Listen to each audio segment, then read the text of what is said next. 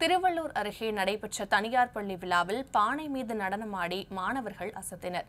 திருவள்ளூர் மாவட்டம் பேரம்பாக்கம் அடுத்த இருளஞ்சேரியில் உள்ள தனியார் பள்ளியில் முப்பத்தோராவது வருட ஆண்டு விழா நடைபெற்றது. ஆயிரத்திற்கும் மேற்பட்ட மாணவ மாணவிகள் கலந்து கொண்ட இந்த நிகழ்ச்சியில் திருவள்ளூர் மாவட்ட மேலாண்மை துணை இயக்குநர் எபினேசர் பள்ளி தாளாளர் மௌரின் ஆகியோர் சிறப்பு விருந்தினராக கலந்து கொண்டனர். நிகழ்ச்சியில் அழிந்து வரும் பாரம்பரிய கலைகளின் முக்கியத்துவம் குறித்து விழிப்புணர்வு ஏற்படுத்தப்பட்டது. பரதநாட்டியம் தேவராட்டம் மயிலாட்டம் பொய்க்கால் குதிரை ஆட்டம் ஆடி மாணவர்கள் அசத்தினர்.